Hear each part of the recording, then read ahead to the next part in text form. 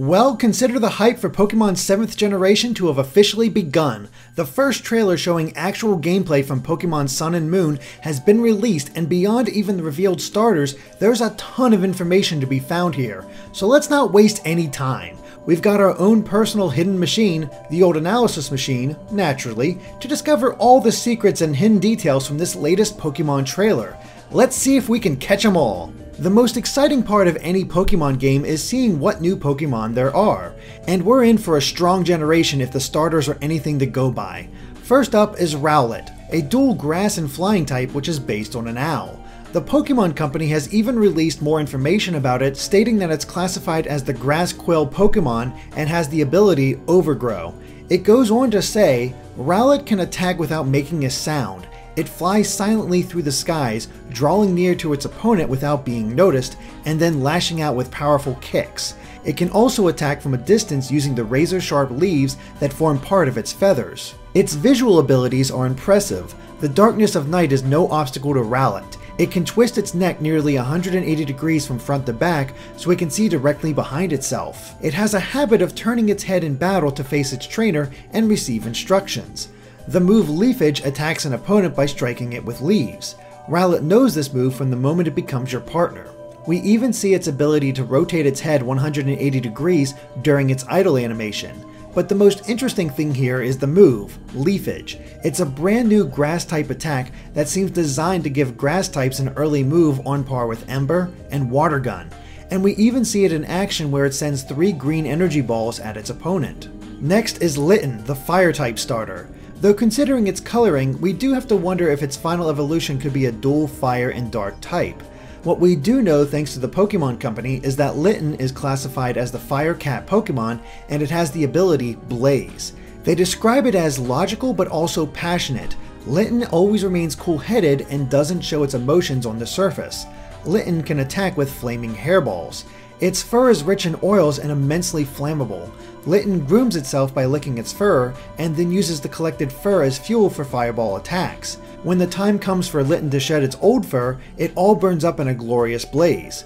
The move Ember attacks an opponent by firing a small flame at it. Litten knows this move from the moment it becomes your partner. So with that description, Ember is kinda gross when used by Litten, but you can't deny its effectiveness. We even see Litten licking its paws during its idle animation before using Ember, and during its attack we can see the hair on Litten's back stand on end. But the coolest detail about Litten are the markings on its fur, which, when combined with its eyes, resembles the alchemic symbol for sulfur. Finally, there's Popplio, the water type Pokemon. The big question with it is whether its final evolution will gain the ice type. We're not entirely confident about that since the typing and design could make it a little too similar to the seal and dugong family. However, Popplio's classification is exactly the same as those two as the Sea Lion Pokemon. Unlike them, however, its ability is Torrent. The Pokemon Company also gives it this description. Popplio's swimming speed is known to exceed 25 miles per hour. It's better at moving in the water than on land. Still, when it's on land, it takes advantage of the elasticity of its balloons to perform acrobatic stunts and jumps. Popplio can snort out balloons made of water. Watch it spin water balloons into a playful battle strategy. Both frivolous and hard-working, Popplio can easily get carried away, unleashing enough power in battle to make quite a spectacle. But Popplio's determined spirit means it can usually be found practicing hard on its balloon skills. The water gun move attacks an opponent by firing a jet of water. Popplio knows this move from the moment it becomes your partner. And like the others, we see it use its water gun and see its idle animation. In this case, Popplio takes a very proud looking stance. What's clear about all of the starters is that they're full of personality. From their idle animations to their attacks, they really do stand out. And there might even be more of a connection between the chosen starter and your trainer since, in the Japanese trailer, we see the trainer picking up his chosen Pokemon. It's a level of interaction we don't normally see in the Pokemon games, at least outside of Pokemon Amie. However, we saw two more Pokemon during this reveal trailer. Toward the end, we were given our first look at the titular legendaries. First is Sun's legendary Pokemon, which has a definite lion-like design which seems to back up the trademark filed for a Pokemon called Solgaleo. The legendary is located near some kind of ruin with the sun and moon symbols on either side of it or nearby columns. Behind it, there's a carving that shows two hands raised into the air. We see more of the ruin when Moon's legendary Pokemon is revealed. Here we see that the ruin seems to be part of a mountain as the hands are shown to be holding up some kind of giant circle. It could either be the sun or the moon, or perhaps represent both. It's difficult to say conclusively, but the moon legendary seems to be designed after a kind of bat which is quite fitting. The trademark seems to indicate that its name is Lunala, but there's almost no evidence here to back that up. Like many of the past legendary Pokemon that have represented the generation, Sun and Moons are shown to be different yet interconnected. In this case, it's in the eyes. The Moon Pokemon has orange eyes, while the Sun Pokemon has blue, which is the primary color of their opposites. Finally, we get to see the Moon Legendary's unique move. It brings up its wings into a full moon shape before combining six beams of energy into one massive attack. Unfortunately, we don't see anything concrete for the Sun Legendary, only that its unique move brings the camera close to its eyes before attacking. Still, it does look quite fierce. And surprisingly enough, that's every Pokemon that's been shown so far. Or is it? In the Japanese trailer, a small scene takes place in the trainer's house, and behind this woman is a Meowth. It's not much, but it does show that the 7th generation will not be repeating what the 5th generation did and only have brand new Pokemon in the region. Instead, we expect the game to keep the sheer variety of Pokemon that Kalos and the 6th generation had. But that's everything that the trailers and supplementary material has on the Pokemon of Sun and Moon, and we're only scratching the surface. Let's continue on and take a closer look at the trainers and the other characters we meet during both trailers. The Japanese trailer actually shows the biggest news when it comes to the trainers. Like X and Y, players will be able to choose how their trainer looks. There are four options for each gender, though they all follow a similar style. The male trainer has a rather simple design with shorts, a blue and white striped shirt, the customary hat, and a backpack. Meanwhile, the female trainer has a wool cap with tufts sticking up on top like a chicken and a square Pokeball symbol. She's also wearing shorts and carries a bag, while her shirt is tied off in the front. While they may not stand out compared to previous trainers, there's actually some clever theming with the two of them. The male trainer has a blue hat, while the female has orange. Her shirt and shoes are colored yellow, while his are blue. So far, it seems that the male trainer is themed for Moon, while the female trainer is designed for Sun. However, the male trainer also has orange highlights on his shorts, which keeps him themed for both versions. Unfortunately, we were unable to find anything blue on the female trainer, though her green shorts are a cooler shade than anything else she's wearing. Along with the male trainer, we also get a look at his room. We can see his desk next to a window where books and a globe sits. The globe actually displays the real world's Europe and Africa rather than any Pokemon geography. Next to it, one of the books is open and can likely be read. On the left, there's a Pikachu doll near the TV. A Wii U is displayed in front of the TV with no NX in sight, so no preview here. Strangely enough, there's no PC to be seen anywhere in the trainer's room, though we think he has to have one, just maybe not in the form we're used to. And that's because of a scene from before this during the Japanese trailer. In it, we see a new character, Kukui, either sending a video message to the trainer to welcome him, or it's a live feed chat. What's interesting is the aesthetic of a web message is fully here as we see options to minimize, expand, or exit Kukui's window, as well as symbols for the video feed, which is indicated to be on, a camera, and an options menu. You obviously can't interact with these options at the moment, but we even see that the background wallpaper is of the ocean. This is where the missing PC ties in. What if instead of a desktop computer, the trainer has a laptop or a tablet that is with them at all times, allowing the ability to have a video chat with characters that they meet along the way? Going one step further, what if it's a laptop that allows you to change out your Pokemon at any time without going to a Pokemon Center? It's quite the reach, and a change we can't quite see them making for the sake of balance, but it could be a major update to the Pokemon formula. The other key component to this talk with Kukui is that, like Generation 3, your trainer has just moved to this new region, Alola. It's an obvious play on the word aloha, and the region is guaranteed to be based on Hawaii. And this move and the location is reflected in the live action segments of the Japanese trailer. It tells the story of a boy and mother moving to Hawaii, so it's possible that there may be details on what the opening story will be in Sun and Moon. For one, the boy's name is Shohei. Is it possible that this will be the male trainer's name in the Japanese version? There are more distinct uses of color during these moments as well. Shohei is wearing blue when introduced to his new class, and the boy who claps is wearing orange. We believe this nice boy, who later reveals his name to be Hoku, is a real world stand in for Sun and Moon's rival, for lack of a better term. We'll detail him in full later, but what's intriguing is that Hoku chooses the starter that is weak to Shohei's choice. Could the opposite trainer, the gender you did not choose, be the true rival in the game, just like Serena and Calem from X and Y? Maybe the rival that Hoku represents is more like Shauna from that same game. There's actually more evidence to support this, but we'll get to that soon enough as there are a lot of characters introduced in the trailer. But first, let's look at Kukui. He's the first character you seem to meet, and may even be your cousin, unless that's just a colloquialism. We believe he works as an assistant to Sun and Moon's professor. After all, he shares a name with the kukui nut that can be found in Hawaii. It's had many different uses throughout the history of the islands, but the ancient people actually burned the nut to provide light.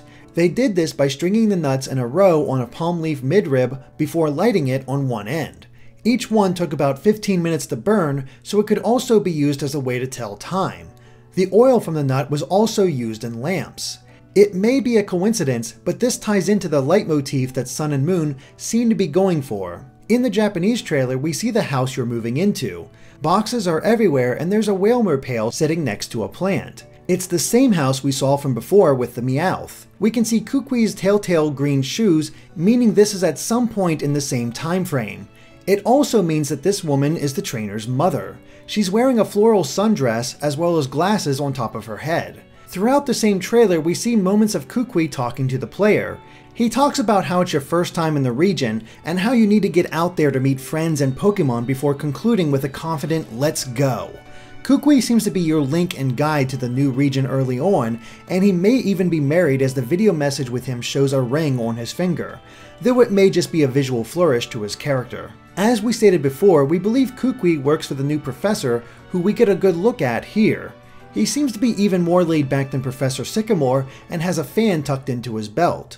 The Japanese trailer shows that his name is Hala, and, fitting tradition, is named after a tree. The Hala tree is one that can be found in Hawaii, and even ties into a special location on the island, which we'll discuss when we talk about the region itself. Needless to say, Hala is the one to give you your first Pokemon. While you receive your starter on a platform that seems to be designed for either ceremonial purposes or Pokemon battles, we can see a building with double doors just to the left, which is likely Professor Hala's lab. An NPC is hanging around nearby, likely to provide more information on it. Just before Hala sends out the Pokemon though, we see a shadow just to the right of the trainer. A person is just off screen while a wide-brimmed hat or perhaps umbrella sticks out from the side. This person seems to be roughly the same height as the trainer, but is standing behind him which could mean it's your mother. However, there's a white piece of cloth just below too, which your mother doesn't wear. So who could this other character be? The last new character we see is this young boy that runs up to the trainer. Considering his backpack, he's likely the rival for this generation, though he seems pretty laid back. We believe he could be tied to the real-world Hoku and become the trainer's first friend in Alola. He's also different from past rivals since he's the one running behind. After all, as he's giving a big grin, we can see Hala's belt sticking out from the left side of the screen. Also, his hair is incredibly similar to Hala's, so it may be possible that he's the professor's grandson. As we said before, we wonder if this boy will be a Shauna type rival for the player since Hoku, who we presume to be this boy's analog and possibly even share the same name, picked the starter that was weak to Shohei's choice. We can't say for sure, but we are confident on this point. But this scene also has a clue to whether trainer customization really is fully returning for Sun and Moon. While the trainer was wearing a blue striped shirt before, now it looks like it's a brown striped shirt, and the orange highlights on his shorts are now white. So, unless this was a coloring mistake, it looks like different outfits will be available to purchase. The bigger question we have though is how the trainer was able to change his shirt before even receiving his first Pokemon. It's not a major change, so maybe there are limited clothing options at your house that you can choose from. Either way, we're confident that you'll be able to have your own personal style once again in Sun and Moon. Before we move on to the Alola region itself, there's a small scene where we can see the trainer's mother looking out over the island. Could this be a scene where she says goodbye to him before he goes on his Pokemon journey? Or maybe it's a true farewell as the trainer prepares to leave this island entirely. What do we mean by this? Well, despite the fact that we were shown a pretty detailed map of Alola, we highly doubt it's everything. Let's take the region one step at a time though as the trailer reveals more to us. Right off the bat there's a tropical feel as we're talking with Kukui. Flowers are blooming while a short palm tree can be seen to the right. Then the trainer is off running and we can see even more. This is just slightly further up the path where he was talking to Kukui. We can see the darker spot from before, which the trainer is now running through, while an NPC is hanging out on the right. Even more foliage helps sell the tropical nature of the region. The camera is dynamic once again with it panning to the side of the trainer to show off the mountains and ocean in the distance. It's also possible to see the winding road loop around and continue on. And we believe that most of these landmarks can be visited. Just behind the place where we receive our starter, we can see a sign in a path that leads into what appears to be a dark forest. It's then that we get an overhead view of Alola, or at least part of Alola. Professor Hala's lab is the building near the top center. Nearby we can see the ceremonial platform, and it's surrounded by the same small buildings, and even the entrance to the forest guarded by two trees. Following the path south, we come to a crossroad. Here we could go north to cross a bridge and explore the mountains east of the forest. There's likely another side path from there as well in order to reach the nearby beach and a cave that can only be surfed to. If we take the path east or south, we'll roughly reach the same destination. We're not sure why there are two paths in this case, but we suppose it does add variety. The paths eventually lead to another building that we believe to be a school, but we'll give our reasons for that shortly. South of that is a beach house which we think is the trainer's home. There are even small islands that we could eventually surf to. However, what's strange is how long of a distance it is between your house and the professor's lab. Either it's just an especially long trek, or we're wrong on the location. However, it is worth noting that at no point during this trailer do we see tall grass, so it may be possible to reach the lab without a single Pokemon encounter. But of course, we can't confirm if this will actually be the case. West of the blue roofed building is a red building that's reminiscent of the newly designed Pokemon Center. It's strange because it's so far from the city to the west. There does seem to be an apartment complex next to it, but then we reach the city itself. The city is larger than anything else around it, but still not so big that we can't see the ocean to the west of it. And north of the city are more dirt routes with more houses. There's also a natural cul-de-sac in the mountain that could lead to a cave. The Japanese trailer even gives us a better look at the western edge of the city. This seems to confirm that the giant building on the southern end is some kind of dock, while a newly seen building on the western side could be important in some ways since it's disconnected from everything else. Another Pokemon Center can be seen on the northern edge of the island with a waterfall nearby. This look at the map tells us one thing loud and clear. This is only the first island in the Alola region. Going one step further, we come to two major conclusions. The first is that this island seems to be based on Oahu, which is one of the northern islands of Hawaii, and the general shape of the island is a near perfect match. In fact, the city is in the exact same spot as Honolulu, further linking the two locations. Finally, there's the professor's name, Hala. As we said before, the hala is a tree that can be found in Hawaii, but even more interesting is the fact that the hala tree is featured on the seal of a prestigious private school known as Punahou School. This school, which is the same President Obama graduated from, is located in Honolulu, lending further credence to either the blue roofed building being the school or the building on the western edge. That seems to nail down this island as Oahu, but the bigger question is where the trainer's journey will take him next. Would he continue to Alola's version of Kauai in the north, or would he depart for the smaller islands between Oahu and Hawaii's main island?